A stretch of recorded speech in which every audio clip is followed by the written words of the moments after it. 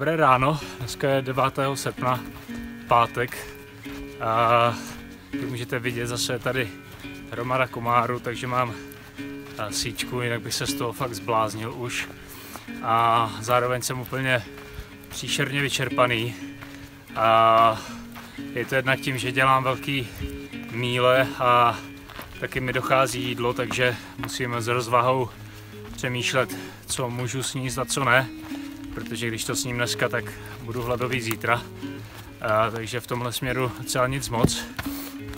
A naštěstí ale jsem zhruba 30 mílí od rezortu uh, Shelter Cove, který je sice drahý, ale nic, jinými, nic jiného mi nezbude. Budu si muset nakoupit nějaký jídlo tam a pevně věřím, že zhruba mezi čtyřmi až pěti dny dohajkuju k silnici, kde budu stopovat do města Bend a vezmu si tam na 100% zero day, to znamená, že nebudu vůbec hajkovat a myslím si, že už je na čase, abych si vzal volno, protože poslední volno jsem měl v Chesteru a to už je 880 km zpátky po PCT, takže myslím, že si fakt zasloužím a nějaký den bez hajkování, abych se dal trošku dohromady pořádně se najedl, odpočinul si a pokračoval dál.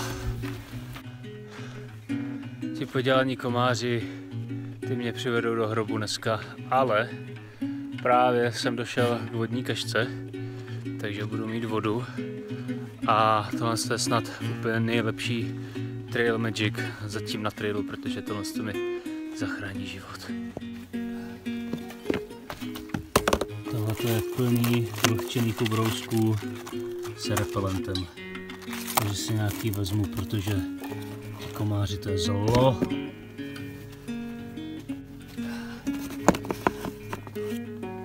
Taky jsou tady nabíječky na mobil, když někdo potřebuje, což je taky super. Já jsem zatím v pohodě.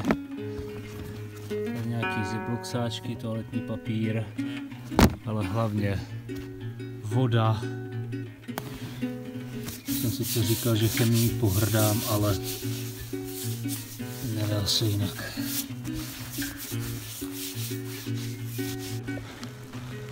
První déšť, nebo spíš bouřka. Uh, myslím, že poslední byla někdy v poušti, takže, že bylo na čase. Akorát to docela bolí, protože padají uh, na mě kroupy, takže nic moc. No, tak teď to začalo. Teď začala pořádná mela. Se tady schovávám pod plachtou a na chvilku mě to odnese.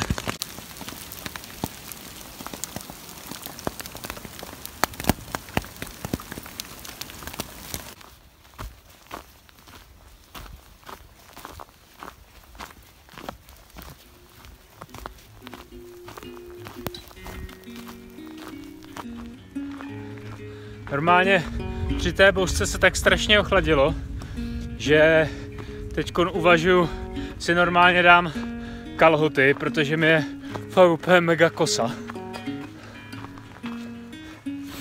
Dneska odpoledne teda počasí nic moc, možná slyšíte ještě v dálce za mnou bouří. Před chvílí byla zase bouřka, ale teda už aspoň nepadaly kroupy, ale pršelo. takže to dneska zabalím trošku dřív, už asi čtvrt na šest, abych měl za jednu míli dojít na místo, kde se dá postavit stan, tak uh, to radši udělám teď, než abych šel dál, abych nestavil náhodou stan v dešti.